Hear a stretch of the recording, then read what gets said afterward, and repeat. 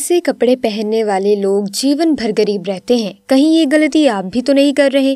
इसी के साथ हम जानेंगे कि औरतों के ऐसे सोने पर कैसे आप बन सकते हैं माला माल घर में होगी धन की वर्षा। तो पूरी जानकारी के लिए वीडियो को एंड तक ज़रूर देखिएगा। नमस्कार दोस्तों, स्वागत है आप सभी का एक बार फिर से। ज्योतिष शास्त्र के अनुसार इस रंग के कपड़े पहनने से दरिद्रता का सामना करना पड़ता है। दोस्तों, हर मनुष्य अपने पहनावे, अपने बोलने के तरीके, अपने रहन सहन अपने व्यक्तित्व इत्यादि के कारण ही पहचाना जाता है।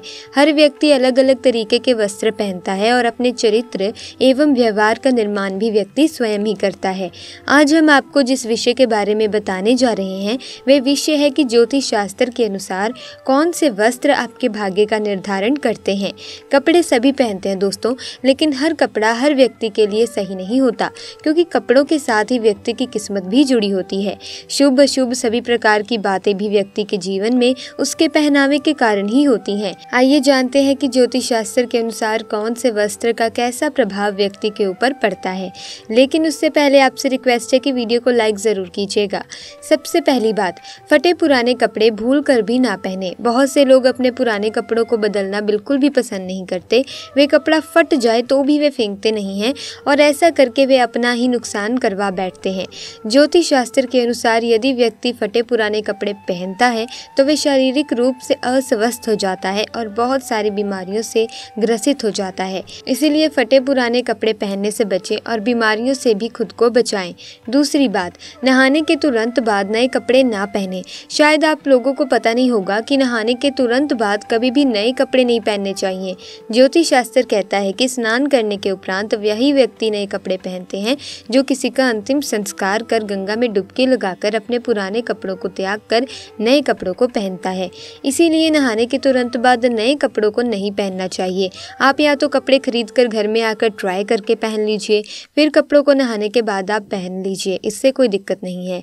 लेकिन कोई ऐसा कपड़ा जिसको आपने पहले कभी पहना ही ना हो, या फिर वो बिल्कुल ही नया हो, उस कपड़े को नहाने के बाद भूल से भी ना पहने। ज्योतिष शास्त्र के अनुसार ऐसा करना शुभ नहीं होता। तीसरी बात, काले रंग के कपड़े ना पहने। हमेशा कोशिश करें कि शनिवार के अतिरिक्त किसी भी दिन काले रंग के कपड़े ना पहने। ज्योतिष शास्त्र के अनुसार काला रंग काली शक्तियों, बुरी शक्तियों का रंग होता है। यदि आपकी शनि की दशा बहुत खराब है तो आप शनिवार के दिन काले रंग के वस्त्र पहने। अन्यथा शनिवार को भी प्रयत्न करें कि आप काले रंग के कपड़े ना ही पहने। जिनसे आप प्यार करते हैं, उनको भी काले रंग के वस्त्र, उपहार स्वरूप भेंट ना करें।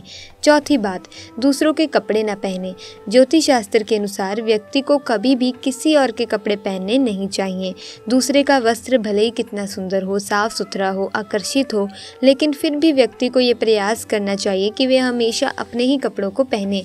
इसके पीछे का कारण यह है कि दूसरे व्यक्ति का भाग्य, गुण एवं दोष आपके भाग्य, गुण एवं दोषों से बिल्कुल भिन्न है। दूसरा व्यक्ति क्या सोचता है वो आपके जैसा बिल्कुल भी नहीं सोचता।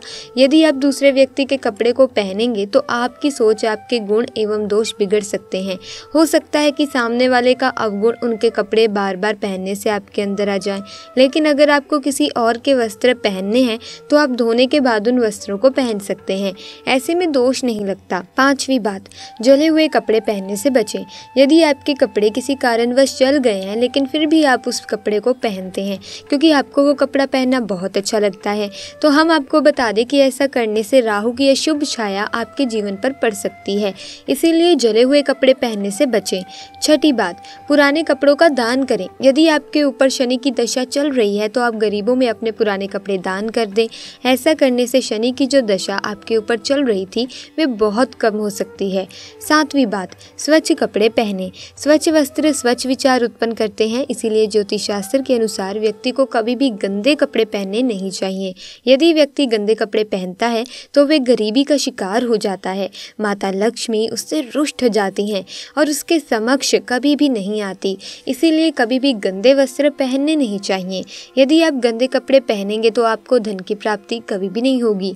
आठवीं बात, गुलाबी या लाल कपड़े पहने। जिन व्यक्तियों को बार बार गुस्सा आता है, वो व्यक्ति लाल या गुलाबी रंग का वस्त्र ज़रूर पहने, क्योंकि दोस्तों, लाल या गुलाबी रंग का वस्त्र उनके मन से नकारात्मक सोच को खत्म कर सकता है और सकारात्मक ऊर्जा प्रदान करता है। गुरु का रंग रंग होता है लाल, इसीलिए व्यक्ति को लाल रंग या गुलाबी रंग पहनने से अच्छा महसूस होता है। नौवीं बात, विद्यार्थी हरे रंग के वस्त्र पहने। हरा रंग बुद्ध का रंग होता है। बुद्ध से विद्या, बुद्धि, प्रसिद्धि हासिल होती है। यदि आप विद्यार्थी हैं तो आप हरे वस्त्र को अवश्य पहना कीजिए।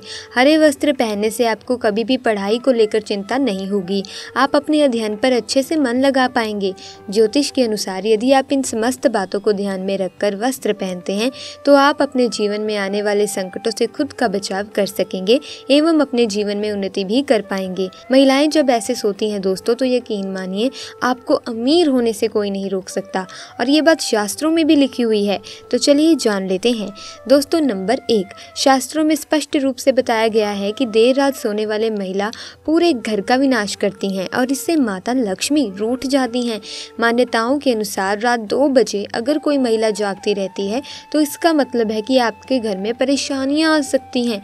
इसीलिए किसी भी महिला को बेवजह देर रात तक नहीं जागना चाहिए। ऐसा करने से दोष लगता है। इसीलिए जल्दी सोकर सुबह उठना चाहिए। दोस्तों, नंबर दो धर्म शास्त्रों के अनुसार चाहे आपका कोई भी धर्म क्यों ना हो, जहाँ पर महिलाएँ अपना ज़्यादा समय सोने में बिताती हैं तो वहाँ पर कभी भी राहु, केतु, शनि की दृष्टि पड़ सकती है।